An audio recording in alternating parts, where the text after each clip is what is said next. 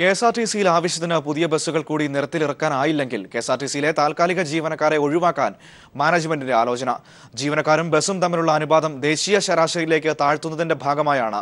ബസ്സുകളുടെ എണ്ണം കൂട്ടുകയോ ജീവനക്കാരുടെ എണ്ണം കുറയ്ക്കുകയോ ചെയ്യണമെന്ന കാര്യത്തിൽ തിരക്കേട്ട ചർച്ചകൾ മാനേജ്മെന്റ് നടത്തുന്നത്. അതേസമയം തൊഴിലാളികളുടെ ആധിക്യത്തിന് പുറമെ ബസ് നിർമ്മാണവും കെ എസ് ആർ ടി സിക്ക് നഷ്ടമാണെന്നും ചൂണ്ടിക്കാട്ടപ്പെടുന്നു. കെ എസ് ആർ ടി സിയിലെ ജീവനക്കാരും ബസ്സും തമ്മിലുള്ള അനുപാതം ദേശീയ ശരാശരിയേക്കാൾ കൂടുതലാണെന്നാണ് കെ എസ് ആർ ടി സിയെക്കുറിച്ച് പഠിക്കാൻ സർക്കാർ നിയോഗിച്ച പ്രൊഫസർ സുശീൽ ഖന്നയുടെ കണ്ടെത്തൽ.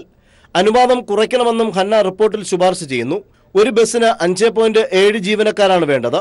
എന്നാൽ കെ എസ് ആർ ടി സിയിൽ എട്ട് പോയിന്റ് ഏഴ് പേരുണ്ട്. ഇതിൽ മുപ്പത്തി അയ്യായിരത്തി മുന്നൂറ്റി നാൽപ്പത്തി ഒന്ന് പേർ സ്ഥിര ജീവനക്കാരും എണ്ണായിരത്തി അഞ്ഞൂറ്റി നാൽപ്പത്തി ഒൻപത് പേർ താൽക്കാലിക ജീവനക്കാരുമാണ്. നിലവിലെ സാഹചര്യത്തിൽ K S R T C അധികൃതർ രണ്ട് കാര്യങ്ങളാണ് ആലോചിക്കുന്നത്. ഒന്നുകിൽ കൂടുതൽ ബസ്സുകൾ നിരത്തിലിറക്കുക അല്ലെങ്കിൽ താൽക്കാലിക ജീവനക്കാരെ കൈവിടുക. ഇതിൽ ഇപ്പോഴത്തെ സാമ്പത്തിക സ്ഥിതി അനുസരിച്ച് രണ്ടായിരത്തി അഞ്ഞൂറ് പുതിയ ബസ്സുകൾ കൂടി ബോർഡ് ചെയ്തിറക്കുക എന്നത് പ്രായോഗികമല്ല എന്നതാണ് മാനേജ്മെന്റിന്റെ നിലപാട്. കെ എസ് ആർ ടി സിക്ക് അയ്യായിരത്തി എണ്ണൂറ്റി ഇരുപത്തിനാല് ബസ്സുകളും ഉപസ്ഥാപനമായ കെ യു ആർ ടി സിക്ക് അറുന്നൂറ്റി അറുപത്തിയേഴ് ബസ്സുകളുമാണുള്ളത്. ഇതിൽ സർവീസ് നടത്തുന്നത് വെറും അയ്യായിരത്തി ഒരുന്നൂറ്റി അറുപത് ബസ്സുകൾ. ഇതിനു പുറമെ ഓരോ മാസവും കട്ടപ്പുറത്താകുന്ന ബസ്സുകളുടെ എണ്ണവും വർദ്ധിച്ചിരിക്കുന്നു. K S R T A working president K K Divakaran. അവനാപൂർവമായിട്ട് ഈ കാര്യങ്ങൾ നടപ്പിലാക്കിയാൽ എനിക്ക് ഉറപ്പുണ്ട്.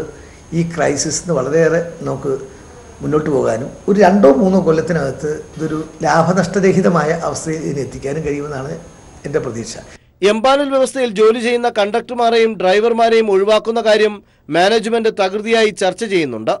അതേസമയം താൽക്കാലിക ജീവനക്കാരെ ഒഴിവാക്കുന്നതിനെതിരെ തൊഴിലാളി സംഘടനകൾ ഒന്നടങ്കം എതിർപ്പുമായി രംഗത്തെത്തിയിരിക്കുകയാണ്. ഇതിനിടെ കെ എസ് ആർ ടി സിയുടെ ബസ് നിർമ്മാണവും നഷ്ടത്തിലായതായും പറയുന്നു. Sunil Arumanoor news bureau Thiruvananthapuram.